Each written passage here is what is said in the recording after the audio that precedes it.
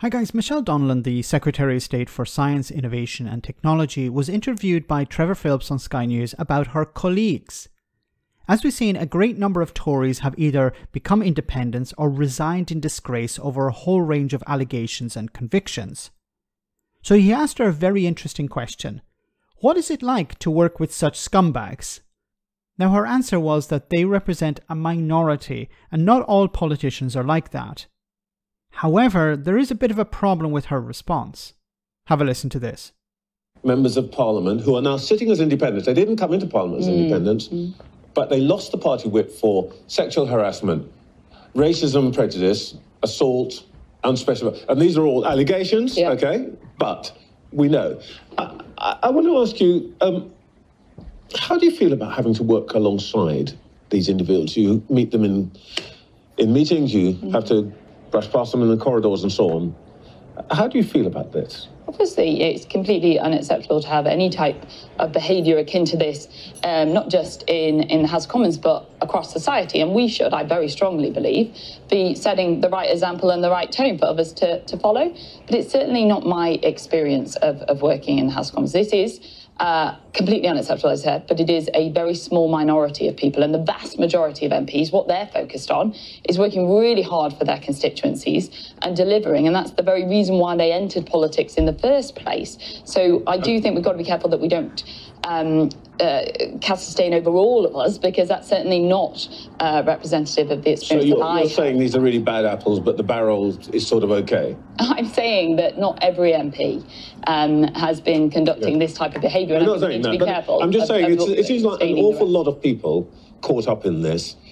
And I just wonder if there's something that you would want to say say about the culture of the Commons, particularly that seems to be producing this so result. This is a small number, but it is an unacceptable number, and uh, and it should not be tolerated. That's why we, as a party, have acted swiftly in any of these cases to uh, to strip the the whip. The culture that I have experienced in the House of Commons is not one that uh, facilitates or encourages this type of behaviour. In okay. fact, it is one where people are working at right. Uh, extreme pace to, to deliver for their local people.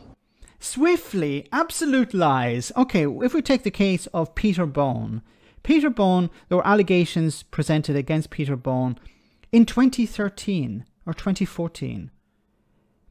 Now, I don't know if uh, David Cameron heard about that, but Theresa May, it seems, ignored those allegations. Boris Johnson ignored those allegations. Boris Johnson actually promoted Peter Bone. Uh, Liz Truss, what did she do about those Peter Bone allegations? She either didn't know or she didn't care and she didn't do anything about it.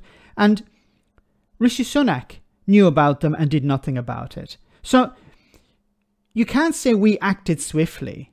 And Peter Bone is one example. There have been numerous examples of politicians abusing their position, abusing their staff, and nothing being done about it. Now, she says, well, we wouldn't want this happening in society. Well, this doesn't generally happen in society because if somebody is being abused by their employer, they can take it up with the tribunal. They can sue the company. What can members of staff in the House of Commons do?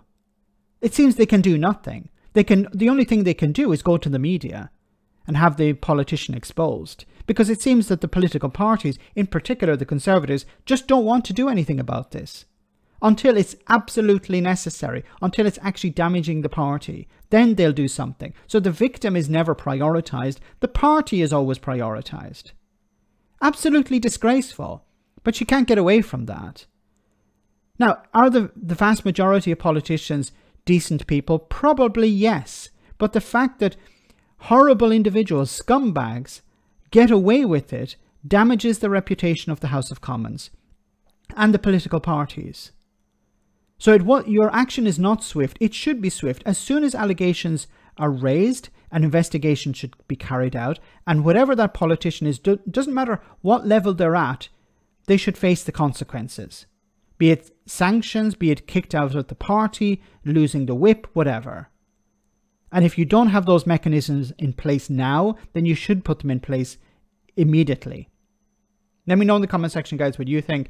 As always, your comments are greatly appreciated. Thanks a lot.